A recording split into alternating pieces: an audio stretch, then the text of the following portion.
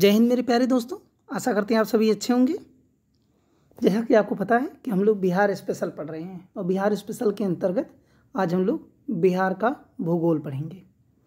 बिहार के भूगोल के अंतर्गत सबसे पहला टॉपिक जो हम उठा रहे हैं वो है बिहार की भूगर्भिक संरचना।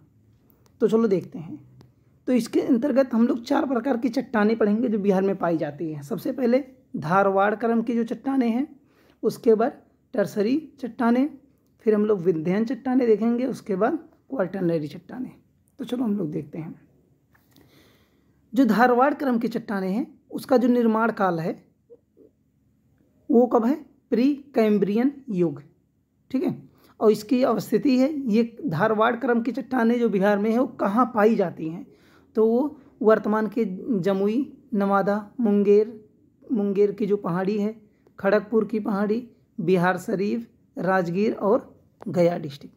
इतनी जगह जो है, वर्तमान समय में जो है, धारवाड़ की, क्रम के चट्टानों का साक्ष्य मिलता है। महत्व क्या है इन चट्टानों का? तो यहाँ से silt, gneiss, granite, quartzite, cobalt, manganese, chromium और अभ्रक जैसे तत्वों का जो है, निक्षेप मिलता है। आगे देखते हैं। टर्सरी चट्टाने देखते हैं। तो इसकी जो स्थिति है, जो लोकेशन है, जहाँ पे मिला हुआ है, वो है पश्चिमी चंपारण, सोमेश्वर की पहाड़ी और हिमालय के तराई क्षेत्र। ठीक है? और इसका महत्व तो क्या है? तो कह रहा है, कंगलोम रेड बालुआ पत्थर तथा चूना पत्थर का निक्षेप पाया जाता है। ठीक है यहाँ पे? क्या क्या कांगलोम रेड बलुआ पत्थर तथा चूना पत्थर का। वो कह रहा, संभावित तेल भंडार। मतलब यहाँ पे तेल भंडार की जो है अनुमान लगाए जाते हैं। आगे देखते हैं, जो विंध्यन युग की चट्टाने हैं उसको देख लेते हैं। तो इसकी जो अवस्थिति है, वो निचला जो विंध्यन क्रम है, ठीक है, जिसमें आता है क्या, सेमरीकरण, जो पड़ता है कहाँ पे, रोहतास जिला में। दूसरा, दो पार्ट में डिवाइड किया जाता है, निचला विंध्यन क्रम और ऊपरी विंध्यन क्रम। जो रोहतास के रोहतास एवं कैमूर के सोन सोनघाटी क्षेत्र में पाया जाता है। इसका जो महत्व है, वो क्या है? तो है, यहाँ पाया जाता है चूना पत्थर, बलुआ पत्थर और पाइराइट निक्षेप। आगे देखते हैं, कह रहा शेर शाह सूरी का मकबरा व सारनाथ के स्तूप हेतु प्रयुक्त पत्थर। ठीक है, इन्हीं तीनों पत्थरों का जो है, प्रयुक्त कहाँ किया गया है? जो शेर शाह सूरी का मकबरा है और सारनाथ के स्तूप में। ऐसा समझ में? चलो आगे देखते हैं। आ गया क्वार्टरनरी चट्टाने। इसकी जो अवस्थिति है, वो कहाँ है? बिहार के मैदानी क्षेत्रों में पाया जाता है। इसकी विशेषता क्या है? तो कह रहा, तैठिस सागर के अवशेष एवं गंगा व उसकी सहायक नदियों द्वारा लाए गए अवसादों से निर्मित है। ठीक है? जो तैठिस सागर था, उसके अवशेष और गंगा और उसके सहायक नदियों द्वारा जो लाए गए अवसाद हैं, उन्हीं से ये निर्मित है। करा अत्यंत उपजाऊ मिट्टी है। क्यों? क्योंकि ये खादर मृदा है। खादर, ठीक है? इसी वजह से अत्यंत उपजाऊ मृदा है। आगे देखते हैं। बिहार की भू आकृति संरचना देख लेते हैं, जिसमें सबसे पहले हम लोग देखेंगे शिवालिक का जो पर्वतीय क्षेत्र है, उसको देख लेते हैं। तो चलो शुरुआत करते हैं। तो सबसे पहले है सोमेश्वर श्रेणी। सोमेश्वर श्रेणी जिसका जो विस्तार है वो त्रिवेणी नहर से लेके भिखना ठोरी जो दर्रा है वहाँ तक। ठीक है? आगे कह रहे हैं इसमें प्रमुख दर्रा जो है वो तीन दर्रे पाए जाते हैं। भिखना ठोरी दर्रा सोमेश्वर दर्रा और मरवात दर्रा। ये तीन दर्रे जो है इस श्रेणी में पाए जाते हैं। इसका जो विस्तार है वो सबसे उत्तर में बिहार के सबसे उत्तर में इसी का विस्तार है। इसका जो सर, सर्वोच्च चोटी है वो फोर्ट सोमेश्वर है जो कहाँ पड़ता है? पश्चिमी चंपारण में। इसकी हाइट कितनी है? तो 880 मीटर। ठीक है? आगे देखते हैं। उसके बाद है हराहा घाटी। ये बिहार का जो जलोढ़ मैदान का भाग है, ठीक है? ये हरहा घाटी जो है, ये बिहार के जो जलोढ़ मैदान है, उसका भाग है। इसका विस्तार जो है तो कह रहा सोमेश्वर श्रेणी व रामनगर दून के मध्य है। ठीक है? किसका? हरहा घाटी का। आगे देखते हैं। कह रहा रामनगर दून जो है, ठीक है? देखना ये सोमेश्वर श्रेणी हो गया, फिर हरहा घाटी हो गया, अब रामनगर दून स्टार्ट हो रहा है। तो रामनगर दून दून जो है, इसका विस्तार जो है तो कह रहा शिवालिक की दक्षिण श्रेणी का निम्न पहाड़ी भाग। ठीक है? शिवालिक का जो दक्षिण श्रेणी है, उसका निम्न पहाड़ी का भाग है ये। अधिकतम ऊंचाई जो है तो वो कहाँ है? संतपुर के निकट में 242 मीटर। ठीक है? 242 मीटर। आगे परीक्षा की दृष्टि से कुछ इंपॉर्टेंट फैक्ट है, उसको देख लेते हैं। तो कह रहा है, बिहार को मुख्यतः विभाजित किया गया है तीन भौगोलिक क्षेत्र में। बिहार के भौगोलिक क्षेत्र के बारे में बहुत इंपॉर्टेंट है, तीन भौगोलिक क्षेत्र हैं, ठीक है? कह रहा दक्षिणी बिहार के मैदान में स्थित जलमग्न निम्न भूमियाँ कहलाती हैं तो वो कहलाती हैं क्या? टाल, ठीक है? टाल। कह रहा उदाहरण मोरटाल बडहिया टाल उसके बाद कह रहा है, मुकामा टाल, उसके बाद सिंघौल टाल, ठीक है? तो टाल याद रखना। कह रहा, दक्षिणी बिहार के मैदान में स्थित जलमग्न निम्न भूमियाँ, ठीक है? जो जलमग्न है, सबसे नीचे भूमि है वही, ठीक है? वो टाल कहलाता है। और इसमें कुछ टाल है, कुछ टालों का नाम है, उसको देख लेंगे, ठीक है? चलो आगे देखते हैं। अब देखते हैं मैदानी क्षेत्र, बिहार का मैदानी क्षेत्र। तो कह रहा गंगा नदी द्वारा दो भागों में विभाजित, ठीक है? कौन कौन भाग? उत्तरी गंगा उत्तरी गंगा मैदान, दक्षिणी गंगा के मैदान। मतलब ये बिहार है आपका, और यहाँ से गंगा नदी दो पार्ट में डिवाइड करती है, एक उत्तर में और एक दक्षिण में। करा कंट्रोल लाइन द्वारा निर्धारित किया जाता है। तो कंट्रोल लाइन द्वारा जो है, इसका निर्धारण किया जाता है कि ये दो भाग में विभाजित करता है। आगे देखते हैं। करा उत्तरी गंगा का मैदान जो है, ठीक है, गंगा के जो उत्तर में स्थित है, उत्तरी मैदान, क्षेत्रफल जो है इसका छप्पन हज़ार नौ सौ अस्सी वर्ग किलोमीटर है। इसमें जो प्रमुख नदियाँ हैं, वो कोसी है, जो बिहार का शोक कहा जाता है। ठीक है, आपको पता होगा, सबसे ज़्यादा बाढ़ लेके आता है उत्तरी बिहार में। उसके बाद बागमती है, बूढ़ी गंडक है गंडक है, महानंदा है, ये जो है प्रमुख नदियाँ हैं, जो उत्तर बिहार में पाई जाती अच्छा सबसे ज़्यादा बिहार में बाढ़ जो है, उत्तर बिहार में ही आता है। ठीक है? और जो कोसी है, ये अपने रास्ता बदलने के लिए तो महत्वपूर्ण ही है। ठीक है, बाढ़ क्यों आता है? क्योंकि ये हर बार अपनी रास्ता चेंज कर लेती है।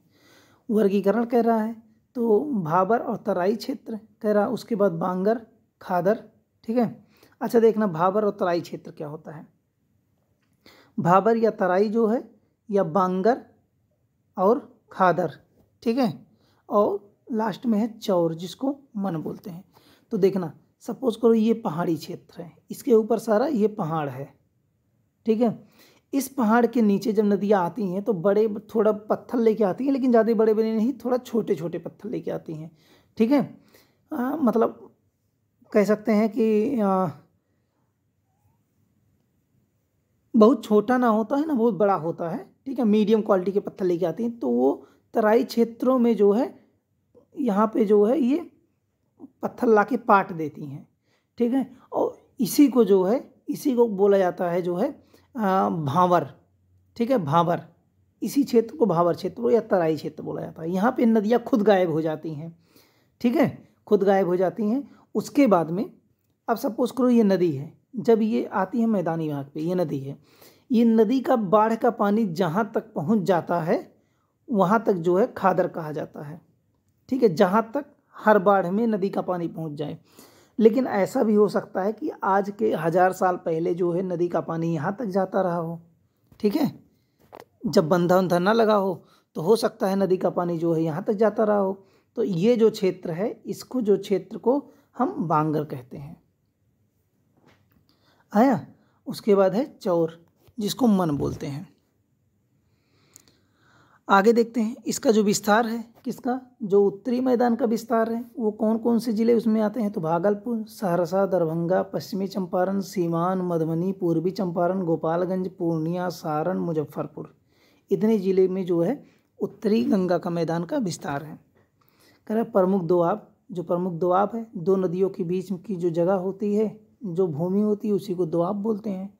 ठीक है तो कह रहा महानंदा कोसी दोआब कोसी गंडक दोआब गंडक घाघरा दोआब ठीक है? इतने दोआब हैं यहाँ पे। आगे देखते हैं। कह रहा, दक्षिणी गंगा मैदान या दक्षिणी मैदान जो है, इसका क्षेत्रफल जो है, वो तैंतीस हज़ार छः सौ सत्तर वर्ग किलोमीटर है, ठीक है? इसका मतलब जो उत्तरी गंगा का मैदान है, उसका विस्तार ज़्यादा है, दक्षिणी की अपेक्षा, ठीक है? इसमें प्रमुख नदियाँ जो कह रहा है तो पुनपुन नदी है और केवल नदी है, वह गंगा नदी है, जो गंगा नदी में आके पुनपुन और केवल नदी मिलती है, ठीक है? आगे देखते हैं इसका जो विस्तार है तो कह रहा है गंगा नदी के दक्षिण से छोटा नागपुर पठार के उत्तरी भाग तक। ये छोटा नागपुर का पठार अगर समझ लो है, और ये बिहार है, ठीक है? तो इसके उत्तरी भाग तक और गंगा नदी के दक्षिणी भाग तक। ये जो है, दक्षिणी गंगा का मैदान है, या दक्षिणी मैदान है। आगे देखते हैं। करा प्रमुख पहाड़ियाँ जो है तो इसमें गया, राजगीर, खड़गपुर,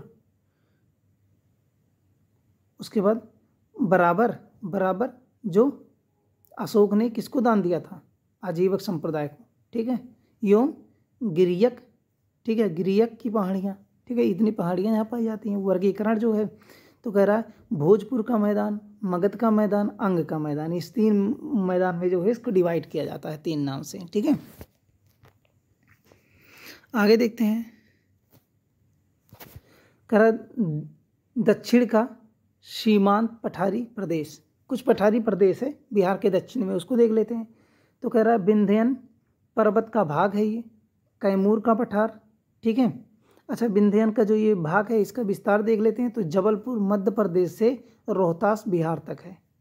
ठीक है? जबलपुर मध्य प्रदेश से रोहतास बिहार, जैसे ये है आपका एमपी ये है यूपी ये है बिहार, ये है झारखंड, ये है छत्तीसगढ़। तो यहाँ जबलपुर से ये शुरू होता है यूपी से होते हुए ऐसे ऐसे यूपी में टच होते हुए जो है, ठीक है यूपी के जो निचला दक्षिणी भाग है, उससे होते हुए जो है ये बिहार तक आती है। कौन? विंध्यन पर्वत। ठीक है? आगे देखते हैं। कैमूर का पठार, इसकी जो औसतम ऊंचाई है, ये कितनी है? तो 300 से 450 मीटर। इसका अन्य नाम जो है तो वो है रोहतास का पठार। आगे देखते हैं। खड़गपुर की पहाड़ी देख लेते हैं, ठीक है? खड़गपुर की पहाड़ी तो आकार त्रिभुजाकार है ट्रेंगिल आकार है इसका, ठीक है? किसकी? खड़गपुर की पहाड़ी का। कह रहा है, कोल्ड कोडरमा, ठीक है, पठार के उत्तर पूर्व में स्थित।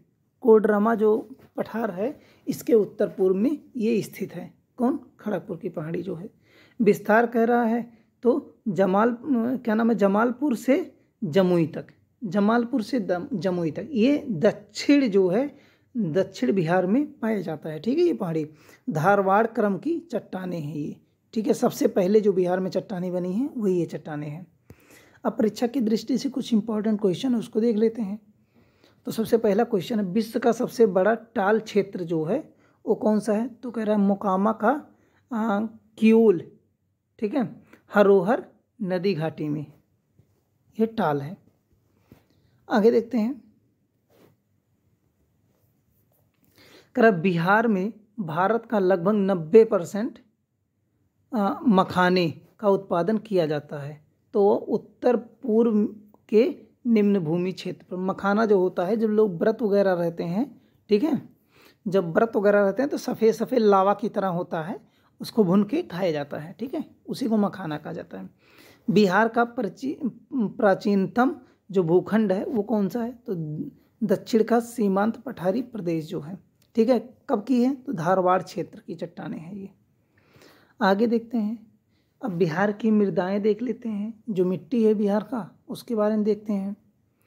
तो बिहार की जो मृदाएँ हैं उस उसके बारे में देखना शुरू करते हैं। तो कह रहा उत, क्या नाम उत्तरी बिहार की जो मैदान की मृदाएँ हैं ठीक है दक्षिणी बिहार के मैदान की मृदाएँ और जो दक्षिण पठारी मृदाएँ हैं तीन प्रकार की मृदाएँ पाई जाती है। उत्तर बिहार दक्षिण बिहार और दक्षिण में जो पठारी क्षेत्र की मृदाएँ हैं ठीक है उसको देखते हैं। देखते हैं तो उत्तर बिहार की मैदानी मृदाएँ। इसके बारे में देखते हैं, जिसमें है पहला उप हिमालय पर्वत पादीय मृदा, जिसकी अवस्थिति है मतलब लोकेशन इसका कहाँ है? तो ये जो उत्तर पश्चिम जो बिहार है, पूर्वी चंपारण, पश्चिमी चंपारण, इस एरिया में, ठीक है? तो कह रहा है इसकी अवस्थिति सोमेश्वर श्रेणी के क्षेत्र में, जो कहाँ पड़ता है? उत्तर पश्चिम बिहार में। इसका जो रंग है, वो गहरा भूरा या पीला रंग है। इसकी जो विशेषता है, कह रहा है जैविक पदार्थों की अधिकता है। यहाँ जैविक पदार्थ, जो ह्यूमस है, वो बहुत अधिक मात्रा में पाया जाता है। और इसमें उगने वाली प्रमुख फ़सलें कौन कौन सी हैं? तो धान है, मक्का है, जौ है। ये तीन जो है यहाँ की प्रमुख फ़सलें हैं। आगे देखते हैं। परीक्षा की दृष्टि से कुछ इंपॉर्टेंट फैक्ट है, उसको देख लेते हैं। तो कह रहा बिहार में पर्वत पादीय मिट्टी का विस्तार को कहते हैं। ठीक है? मिट्टी के विस्तार को कहते हैं तो भावर क्षेत्र होता है, जो पर्वत के पद क्षेत्र को कहा जाता है। गिरिपद जिसे बोलते हैं ना, कि गिरी के पद मतलब एकदम नीचे, जहाँ से गिर शुरू होता है, ये वाला एरिया ठीक है? तो इस एरिया को जो है तराई क्षेत्र या भावर क्षेत्र बोला जाता है। रहा बिहार में अवरक मूलक मिट्टी प्राप्त होती है तो वो नवादा ज़िले से प्राप्त होती है। आगे देखते हैं।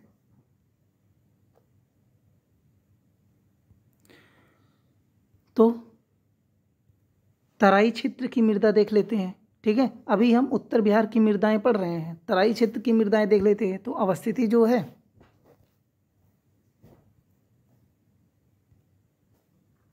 इसकी अवस्थिति देखते हैं। तो जो अवस्थिति है, वो उत्तर में बिहार, नेपाल सीमा के साथ ही पूर्व में किशनगंज से लेकर पश्चिम में चंपारण तक, ठीक है? मतलब ये नेपाल है और नेपाल से सटा हुआ ये बिहार है तो ये कह रहा है किशनगंज से लेकर और चंपारण तक। और उसके जो ये नीचे वाला पूरा क्षेत्र है, इस, इसी क्षेत्र में कह रहा है, ठीक है? रंग कह रहा भूरा या हल्का पीला रंग। यहाँ भूरा या हल्का पीला। और जबकि उधर क्या था? जो हिमालय जो था, वो गहरा भूरा या पीला रंग। विशेषता जो है तो अम्लीय प्रकृति का है, फास्फोरस ज़्यादा पाया जाता है, पोटास भी ज़्यादा, सॉरी सॉरी फास्फोरस एवं पोटास की जो है कमी तथा जैव पदार्थ की अधिकता। भारत के सभी मिट्टी में लगभग फास्फोरस और पोटास की कमी ही पाई जाती है।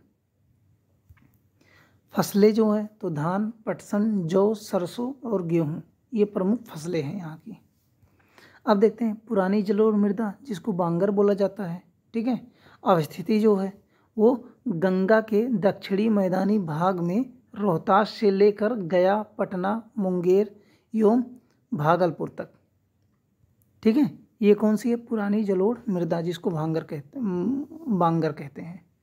इसका जो रंग है, वो हल, गाढ़ा, भूरा या हल्का काला रंग। विशेषता जो है, चूने एवं पोटास की अधिकता। चूना एवं पोटास की जो है, अधिकता है। फास्फोरस, ह्यूमस एवं नाइट्रोजन की कमी। ठीक है? प्रमुख जो फ़सलें हैं तो गन्ना, मक्का, धान, गेहूँ जूट ये प्रमुख फ़सलें हैं।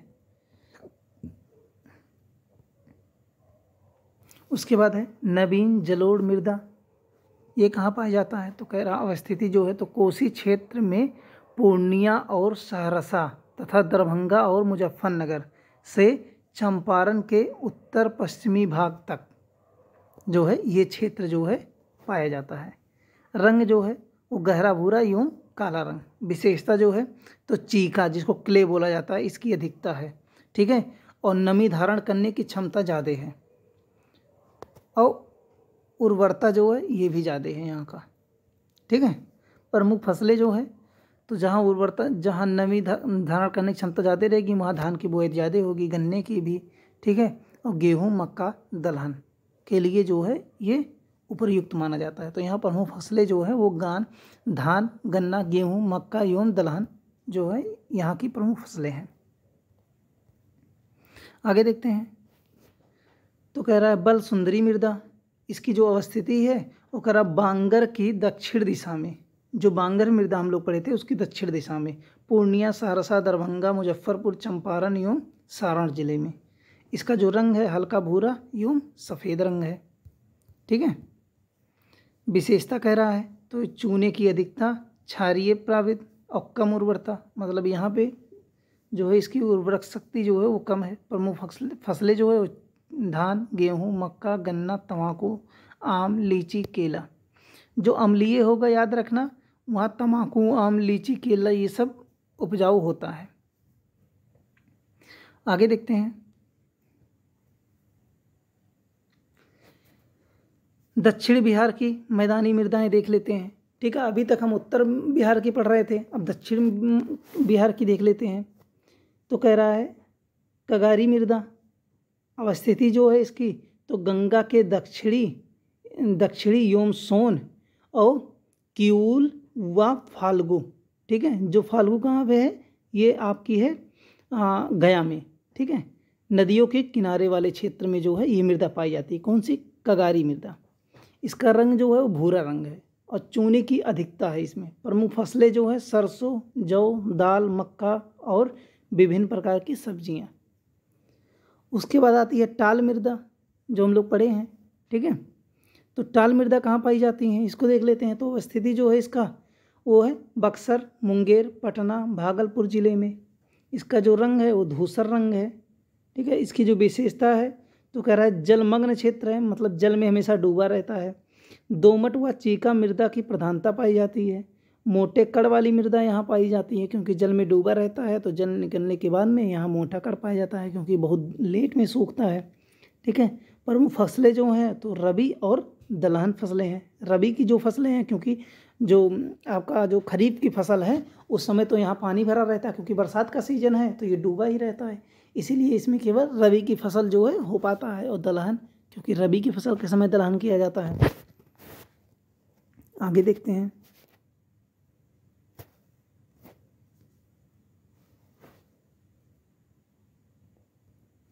करैल या केवाल मृदा इसको देख लेते हैं। करैल या केवाल मृदा इसकी अवस्थिति जो है, बक्सर, जहानाबाद, रोहतास, मुंगेर, भोजपुर, पटना, भागलपुर औरंगाबाद ज़िले में। ठीक है, इसकी जो अवस्थिति है, रंग जो है वो पीला या हरका गहरा, भूरा रंग। इसकी जो विशेषता है, वो क्या है? कह रहा सिल्ट बालू योम क्ले का मिश्रण। करेल मृदा, जिसको क्षारिय उसके बाद केवाल मृदा, अम्लीय क्षारिय ठीक है, ये सब मृदा, इस प्रकार की मृदा अम्लीय और क्षारिय भी है। जल ग्रहण क्षमता जो है, इसकी ज़्यादा है।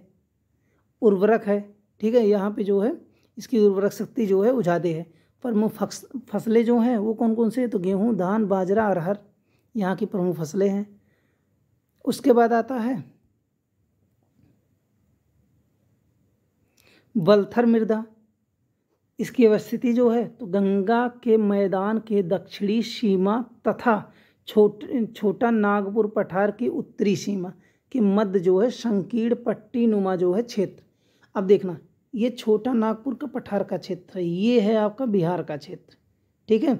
अब इस ना देखना, यहाँ पट्टी नुमा एक ऐसे जो बना हुआ है, बिहार के दक्षिणी क्षेत्र में पट्टी नुमा एक संरचना बना हुआ है, इसी को कहते हैं बलथर मृदा, ठीक है?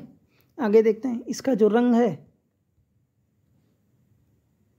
इसका जो रंग है, वो पीलापन पीलापन लिए हुए लाल रंग मतलब हल्का पीलापन लिए हुए अधिकतम जो है लाल रंग होता है। विशेषता जो है अम्लीय प्रकृति का और कम उर्वरक। ठीक है, प्रमुख फ़सलें जो है वो आलू, ज्वार, बाजरा अरहर यहाँ की प्रमुख फ़सलें हैं। कुछ इंपॉर्टेंट फैक्ट है, उसको देख लेते हैं। करा बिहार में पीडमोंट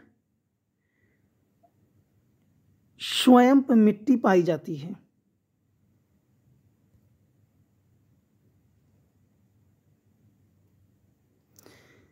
तो कौन सी मिट्टी?